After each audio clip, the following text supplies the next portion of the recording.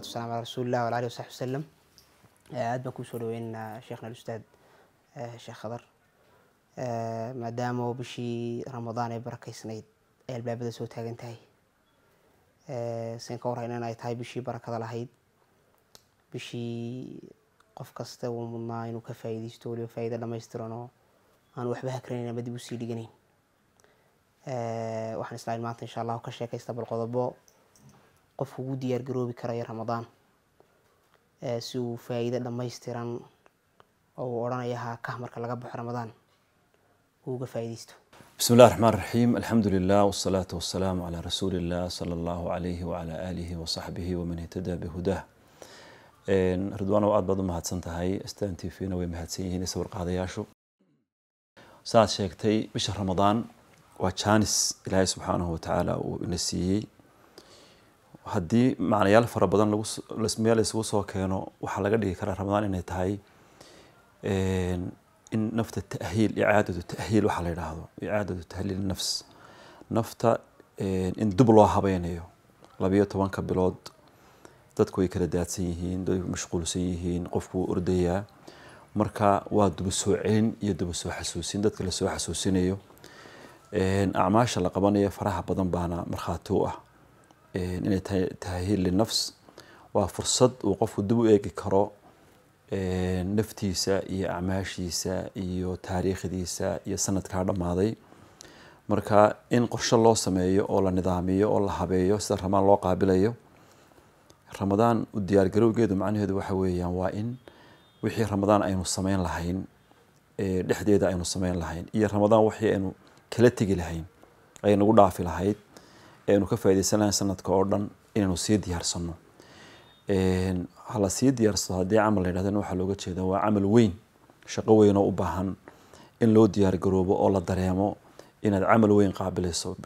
Masalan salaada intaan la gelin oo la rabo salaada in la tukado wax badan baa ka horreeya oo diyaargarow ah.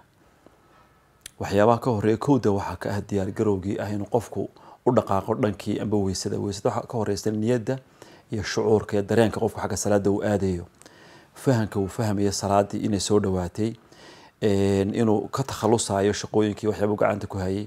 Dabeed salaadii inuu aado dabeed waxyaaba fara badan haddii ilahay ka dhiga laga yaabo inay mawduuca inooguba timaado marka haddii la yidhahdo ramadaan waa loo diyaargaroobaya waxay ka dhigan tahay sida salaadaba loogu sii diyaargaroobayo weyso iyo ku talagalkaas ayaa ramadaan loogu diyaargaroobaya aada iyo aad aad iyo aad aad baad mahadsanta sheekh runtii mawlaana sheekh waxaa jira dadku imika waxay aada u jecel yihiin in marka mawduuc ballaarhan laga hadlayo in loo qodobeeyo tusaalahaan oo kale qofka la tuso kow iyo laba iyo saddex qodobo markuu ku dhaqaaqo uu dareemayo inuu inuu u diyaargaroobay dabcan ha ka daba imaadaan qodobo kale oo kuwa saacidiya ama kuwa muhiimsanba ama dhamaystirba u ah marka haddii tusaalahaan kale sheekh aynu bal xalqadna ku qaadano shan qodob ama shan tallaabo oo mudan qofku inuu sameeyo si ugu sii diyaargaroobo ramadaan maxaynu odhan karnaa?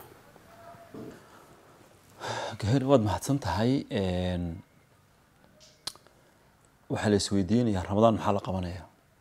Waxaa loo diyaargaroobaya waa maxay? Ramadaan haddii la yidhahdo loo diyaargaroobo maxaa loo diyaargaroobaya waxaa loo diyaargaroobayaa bisha ilin bil ahaan loo caabudi maaye bisha acmaasha ku jirta ayaa ayaa loo caabudaya waxaan is leeyahay shan shaqo oo waaweyn oo salaada ramadaanta ku jira. Shan shaqo oo ramadaanta ku jira oo ay ku calaamadsan tahay oo haddii ramadaan la yidhaahdo lagu xasuusanayo shantaasay tahay in loo diyaargaroobo marka mid kastaaba u diyaargarow gaar ah ayay iska leedahay. Tusaale ahaan shanta qodob waa shan qodob oo marka horeba qofka looga baahan laakiin ramadaan gaar waxa looga dhigay waan istaan sheegayo in dadka dub loo xasuusiyo waxa weyn ee adduunka joogaan oo ah cibaadada iyo ilaahay subxaana wa tacaala ku-xidhnaantiisa iyo dadka isku xidhnaantooda iyo qofku naftiisa qaabka ula macaamilayo waxyaaba mid kastaaba wax gaara ka turjumayo ayay bisha ramadaan tusaale ahaan sanadka sannadkii oo dhan marka la joogo oo dadku ay mashquulaan ee ay buuqaan ee ay ordaan ee ay shaqeeyaan ay daalaan bil baa gaar loo soo saaray. Si koob iyo tobankii bilood bishani ay ugu noqoto markas xarun lagu qiimeeyo bilaha amba qofku intuu ka ambabaxo uu bilaha kale ku waajaho amba koob iyo tobanka bilood markuu soo shaqeeyo bishaas uu soo gaadho uu dub isu xisaabiyo. Koob iyo tobankii bilood maxaad soo samaysay jaanis fiican oo qofka la siinaya weeye. Sidaasoo kale wiiga waad aragtay waxaa la siiyey maalinta jimcaha. Dadka way shaqaynayaan way soconayaan acmaal gaara oo maalmaha kale aan ku jirin ayaa jimcihii ku jira. Jimcihii waxaa la rabaa qofka wiigii waa markaskii wiiga waa xaruntii wiiga lixda cishee soo socdana wuu u qalab qaadanayaa lixdii tegeyna wuu ka xisaabtamaya. Maalintii haddii loo yimaado maalintii qofka marka afar iyo labaatanka saac uu soo shaqaysto saacad dhexaa jirta oo u dhaxaysa dhammaadka maalintii hore iyo bilowga maalinta soo socota. Waa ka nebigu caleyhi salaatu wasalaam sheegay marka habeenku saddex meelood u qeybsamo meel ahaan markay laba tagaan ee meele ay hadho inuu qofku salaatuleyl u kaco saacaddaas anigu waxaan ku xisaabiyay inay tahay saacadda qofku uu maalinta soo socotana uu qorshaheeda sii samaysanayo oo uu sii qalab qaadanayo maaragtay sii cabaysanayo saacadihii horena ee soo dhaafayna qofku uu wax iska weydiinayo. Marka horta ramadaan waa noocaas. Ramadaan shan camal baa ku jira. Shan camal oo waaweyn ayaa ku jira. Camalka koobaad ku jira waa soonka. Soonku sanadka o dhan waa la soomaa isniinta iyo khamiistaa la soomaa. Saddex cisho bisha ramadaana baa la soomaa. Cashuuraa la soomaa. Inta inta maalin ee la soomo ee ku jira sanadka waad garanaysaa. Marka camal cusub maaha. Camal cusub qofku uu qabanaya maaha. Laakiin wuu ka dheer yahay waanu ka waajibsan yahay. Wuu ka dheer yahay oo waa soddon cisho. Halka maalmaha kale ay ka tahay laba cisho iyo maalin iyo saddex iyo waxa ay ka tahay. Marka waxaa la rabaa in qofku bisha ramadaan markay soo gasho kutiba calaykum asiyaamu kamaa kutiba cala aladiina min qablikum. Anigu waxaan u fahmay inay tahay camal dadka oo dhan ka wada dhexeeya sababtay uga dhexaysana ay tahay ujeeddo keliya. Ujeeddadaasi ay noqoto in dadka ibni aadamka ay naftooda ay la socdaan. Oo acmaashan aynu sheegayna imanka ay kula socdaan. Soonka ma aha afhaysi oo keliya oo inuu qofku cuntada uu iska daayo cabitaankana uu iska daayo. Inuu qofku u diyaar garoobo inuu soomo yani diyaargaroob lanaga rabaa waxa weeyaan inuu qofku u sii diyaargaroobo inuu soomo. Oo uu u soomo sidii loogu talagalay. Oo haddii qofku uu soomo inuu afkiisa haysto waxba aanu cunin. Afkiisa inuu haysto waxba aanu cabin afkiisa haysto waxba aanu caayin. Inuu adkaysto oo haddii la caayo la aflagaadiya xagga ku iman doontaa. Yacni soonkii macnaha lahaa ee ajarka lahaa soonka waa laba qaybood iyo waajibaadka o dhami waajib waa waajib qofku markuu sameeyo waajibkumaa kaga dhacaya ajar badan kama helo laakiin aakhira loo raaci maayo maxaad camalkaa u weyda amba soon ha ahaado amba salaad ha ahaado. Camalna waa camal qofku markuu sameeyo fadliga faraha badane la sheegay. Man saama ramadaana iimaana waxtisaaban gufira lahu ma taqadama min dembihi qofku haddii uu somo bisha ramadaan isagoo iimaan qaba ixtisaabna ay ka tahay. Isagoo rumaysan ramadaan waxay tahay. Oo rumaysan ramadaan waxa lagu helayo oo rumaysan ramadaan miisaankay leedahay oo rumaysan ramadaantu waxyaabahay u baahan tahay ilaahayna ajar kaga doonaya gufira lahu ma taqadama min dembihi in qofka ajarkiisii hore oo dhan la dhaafo wax sahlan lagu heli maayo. Markaa qofku soonka inuu u diyaargaroobo siduu u lahaa siduu ilaashan lahaa siday soonkii u noqon lahayd wuxuu u diyaargaroobayaa kow in soonta aanu sugin ramadaantu markay bilaamato axkaamta culimadu ay ka akhriyayaan masaajidda ee isaga uu baadho. Intaasoo casharaa ku jira. Intaasoo kutubaa laga qoray. Qofka xataa waxba aan akhriyi karinin maxaanku dhaa googlekii hadduu galo amba youtube-ka hadduu galo intaasoo wuxuu ka helayaa muxaadaro oo ka hadlaysa soonka markaa sida ugu fiican ee loo soomo qofku inuu inuu sii diyaarsado soonka qadiyadda ugu muhiimsan ee ku jirtaa waxa weeyaan in qofku naftiisa uu dabdiyo uu xakameeyo. In naftiisa xakameeyo oo xadhig ku xidho oo siduu u xakameeya naftiisa ay u ahaato. Bisha ramadaan subaxi qofku wuu soomaa markuu soomo ilaa salaada maqrib waxba ma cuno. Isagoo cuntadii doonaya isagoo haraadan isagoo waxyaabaha qaar uu ku kaftami jiray aan ku kaftamahayn. Balwad haddii uu laha hadalkeeda dhaaf qofku naftiisa wuu xakameynaya marka inuu u diyaar garoobo xakamaha bisha ramadaan inuu qaato xakamahaasina sanadka oo dhanna inuu inuu sii socdo qadiyada ku saabsan dareenka inuu qofku u diyaar garoobo bal qaabka u dareemi lahaa waxyaabaha uu naf ahaan ka faa'iidaya ramadaanta oo ah inuu dareemo cid sidiisa u gaajoonaysa inay jiraan. Taasina waa qodobka laakiin qodobka u muhiimsana waxa weeyaan inuu ramadaan ugu dareemo ugu diyaar garoobo inay u noqoto ramadaantii laga rabay inuu soomo. Oo soonka ugu diyaargaroobo soonkii gufira lahu maa taqadama min dembihi u noqon lahaa. Ee aan ahayn qofku inuu ramadaanta u soomo inuu soonkii iska rido. Calaamadaheeda waxaa ka mid ah qofku habeenkii o dhan inuu soo jeedo iska ciyaaro wax cuno wax cabo bacd dadka qaarkood ay balwadaystaan subaxii marka waagu baryana salaada subax ka hor intuu wax cunto cuuran cuno oo suxuur badan uu cuno eedaankuna iska ilaaliyo. Dabeeta uu seexdo. Amba shaqooyin yar uu qabto amba duhurkii uu seexdo yacni inuu dhammeeyo waktigii uun. Inuu waktigii dhameeyo amba hurdo uu ku dhameeyo amba madadaalo kale uu ku dhameeyo aanu ku dhamaynin soonka iyo macnihiisii qodobkaasi waa qodobka koobaad qodobka labaad ramadaan ku jiraana waa qur'aanka. Shahru ramadaan alladii unzila fiihi alqur'aan ramadaan iyo waxaa laysku ladhay oo laysku sidkay qur'aankii. Bisha ramadaan waa bishii qur'aanka la soo dejiyey. Wuxuu qofku ugu diyaar garoobi karaa ramadaanta inuu soonka marka la gaadho isaga iyo qur'aanku inay xidhiir gaara yeeshaan oo u sii qorshe u sii samaysto qaabku qur'aanka u akhrin lahaa qaabku u qeyb qeybsan lahaa qaabku u fahmi lahaa qaabku ugu dhaqmi lahaa. Waxaan is leeyahay waxyaabaha hadda xilligan dambe aada u soo batay waxaa ka mid ah in la yidhaahdo qur'aanka hala dhameeyo hala soo bilaabo hala dhameeyo hala soo bilaabo hala dhameeyo oo maaragtay la dudubiyo dululubis lagu sii daayo.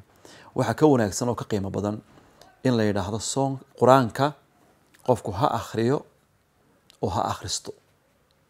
Oo yacni isagoo lafihiisa qur'aanka ha u akhriyo oo ha fahmo oo zaad iyo sahay ha ka dhigto oo dhibaatooyin laga yaabo isaga inay haystaan ha ku daweysto.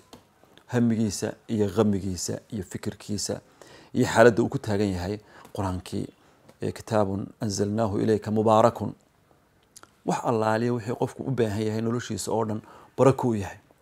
Liyadabaruu aayaatihi waliyatadakara ulul albaab. Mubaarak wuxuu qur'aanku noqonaya wuxuu barakoobayaa markuu qofku u fiirfiirsay macnihiisa u fahmo. Ee uu ku waantoobo ee waxa uu leeyahayna uu qaato wuxuu leeyahay ka tagna uu ka tago. Nin baa beri ku tusaaleeya qur'aanka. Nin dee waraaq loo soo diro nin weliba aada qaali ugu ah xaggiisa. Oo macno weyn u sameynaya uu u soo diray mowduuc aada u muhiima oo mustaqbalkiisa oo dhan jaangoynaya marka waa laba ninoo nina wuu laalaabo halkaasuu iska dhigay. Nina wuu soo qaadaa wuu akhristaa. Laakiin waxaanuu akhriyaya ma fahansana. Warqadan uu akhrinayo macnaheeda garan maayo. Nina mabuu akhriyaynba.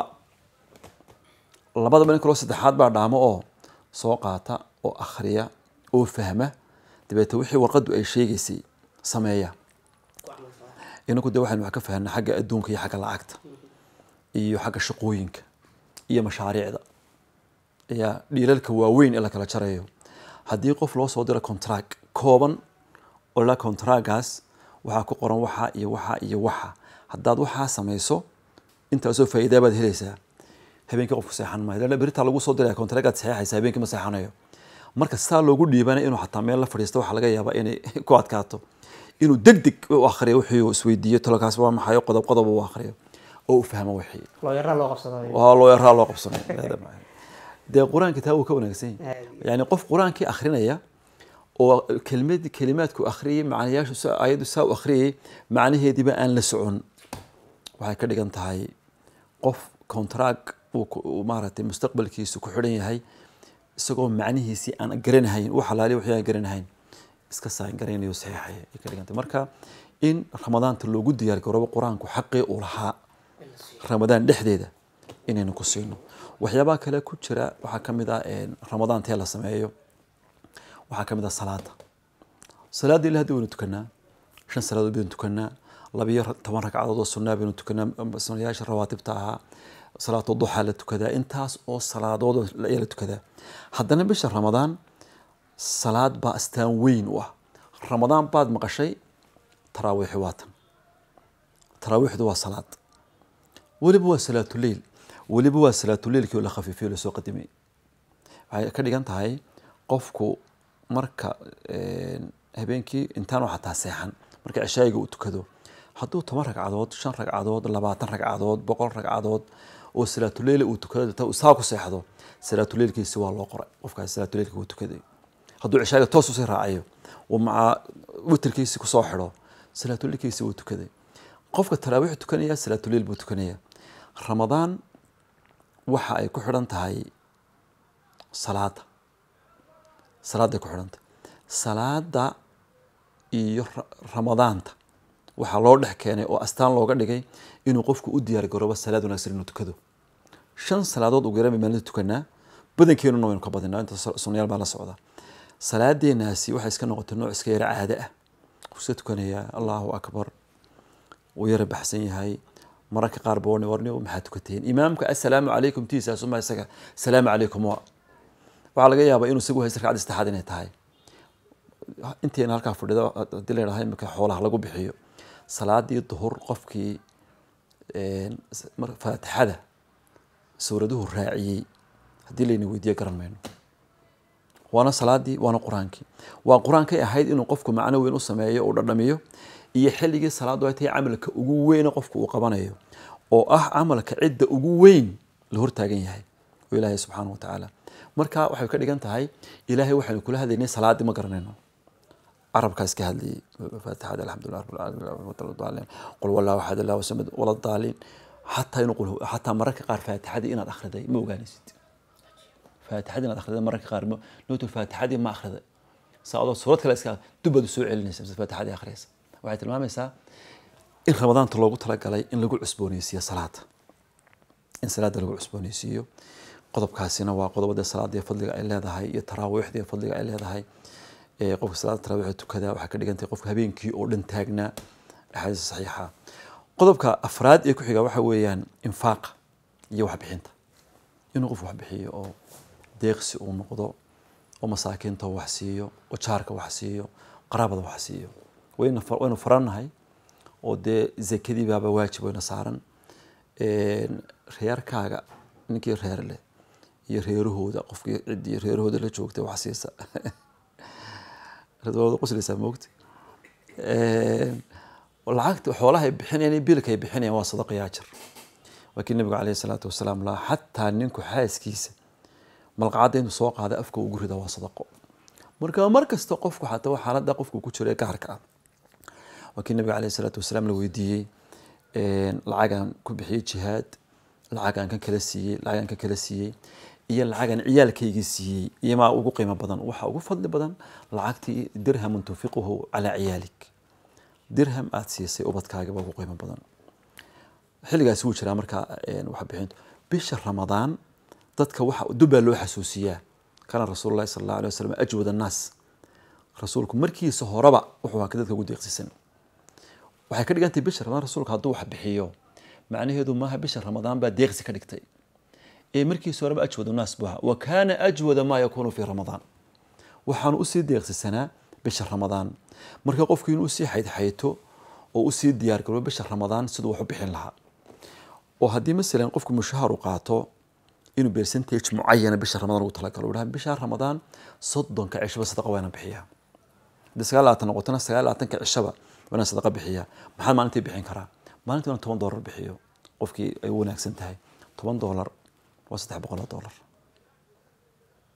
miyan qalda way saxantay waa saddex boqol oo doolar dadka qaar baa ka badan bixin karaa dadka qaar baa ka yar bixin kara shan doolar baan bixinaya bishii maalin kasta toban kun baan bixinaya maalin kasta qof kastaa jeebadiisa intuu eego waxa uu aaminsan yahay inay ka soo goodo isaga inuu meel dhigo oo maalin kasta soddonka bisha ramadaan inuu wax bixiyo rasuulku caleyhi salaatu wasalaam bisha ramadaan gacmihiis. Markiis hore wuxuu ahaa deeqsi buu ahaa subxaana allah yacni alqaasi wadaani way ka sheekeeyeen rasuulka caleyhi salaatu wasalaam. Ka dhowya ka fogiba deeqsinimadiisii haddana bishaa ramadaanna waxyaaba madaxaagaasi aanu keenayn buu samayn jiray salawatullahi aleyh wasalam marka inuu qofku u sii diyaargaro bisha ramadaan siduu wax bixin lahaa.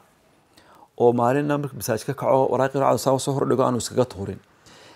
Sadaqo qorshaysan oo qaraabo ehel jaar mid kaloo iska furan marka qalabka suuqa intuu maro. Muuqaalada runtii xanuun kale waxaa ka mid a suuqa haddaad soo marto waxaad arkaysaa dad masalan maata ah amba gabadh oo kale masalan waxay dul fadhidaa laba xaboo muusa iyo laba xaboo liina amba afar xaboo liina. Waxaa laga yaabaa gabadhaasi inay ka timi reer iyo carruur oo masaariif laga yaabo inay inay maaragtay inay uga raadinayso. Qaar maalin mid weydiiyey waxa meesha saaran waa mise waxay ku tidhi waxa saaran shan iyo toban kun. Miiska dhan haa yani waad qiyaasi karaysaa. Waa ilaa toban xabo lix xabo shan xabo muuse meelahaas iyo ilaa shan lix toddoba xabo meelahaas oo liina. Marka laga soo iibinaya wuu jaban yahay. Yani qofkaas carruur baa ku sugaysa imisa toddoba. Toddoba caruura ayay sugaya marka yani qofku mararka qaar inuu si joogtaa isaga baxa mararka qaarkood dad masaakiinuhu meelaha jooga oo maaragtay een, aan waxba ku weydiisan. Waxaana idin aan isku hay waan kuna garanayn waxa tahay. Imanka hadaad qofaa saaxiibtiin wax u dirto amba qofaa jaaratiin wax u dirto shaydaanku waxbuu markuu ku joojin waayo wuxuu kuu qurxinayaa ninkii hebel u dir. Hoosta waxaad ka leedahay ninkaasi aad wax siisay dee kole abaal buu kuu haynaya ama wuu ku ammaani doonaa ha dhowto laakiin qofku intuu iska baxo hadduu daan degan yahay daanteeda kale intuu tago inuu iska socdo dabeet dad meel masaakiin isu jooga uu tago inuu wax iska siiyo ku dhaha intaas carruurta wax ugu dar marka sheekooyin badan baa jira nin baa saa sameeyey berigii dhaweetay ay wax gubteen marka gabadh meel fadhida ayuu u tegay konton doolar ayuu u diray waa gabadh dhexe taqriiban shan iyo soddon afartan. Shan iyo soddon soddon meelaha u dhaxaysa. Laakiin laga yaaba inay da-deedu intaa ka yaree duruuf baa ayaa ka muuqata. Waxay dul fadhidaa wax yar yar oo naf lahaynoo dadkii meesha ka shaqeysan jiray bay ahayd marka wuxuu- markaas waa imise waa intaasoo dabeetana wuxuu u diray in yar buu u diray. Gabadhii markaa waxay ku tidhi marka markuu saa ugu diray wuu ka dhaqaaqay isaga khalaas markii uu ka dhaqaaqay gabadh ninku tiri lacagtan maxaad igu ciyaalka masaariif maanta mar horaan kici lahaa meesha imakaa wax allaaliya waxaan qaado. Ayaan garan waayey. Ilaa saakaan fadhiyey lacag yaroo ran talaba soo saartay waxay tihi intaas waa arki maysid wax yaro toloma toban kun baa mise waa mise waa waxaan dhahay. Marka taasoo kale ayaa ayaa ayaa jirta marka qofku inuu u diyaar garoobo maaragtay inuu inuu inuu wax bixiyo bisha bisha ramadaan. Qodobka ugu dambeeya shanaad inuu qofku naftiisa ku tarbiyadeeyo inuu maaragtay naftiisa hogaanka u qabto. Idaa kaana sawmu axadikum rasuulku caleyhi salaatu wasalaam waa kii lahaa haddii midkiin maalinta soonka uu joogo dabeetana fasabahu axadun aw shatamahu hadduu mid caayo amba aflagaadeeyo yaanu u jawaabin ha yidhahda keliya ta ini saim way adag tahay qof halkii inaa iska jooga maanta oo intuu qof iska caayo. Rawa nin ordo tag. Haddana uu caayo. War waan soomanahay maca soonkaagu caaya laakiin inaku lafteennu bisha ramadaan maaha oo keliya inta qofka odhanaya ini saim qofka waxaa la barayaa dulqaadka iyo adkaysiga iyo inaanu ka jawaabin afcaal aan wanaagsanayn dadku hada jara marka qofku inuu naftiisa u sii diyaariyo waynu isgaranaynaa dulqaadkeenu aad buu u kooban yahay aad buu u kooban yahay.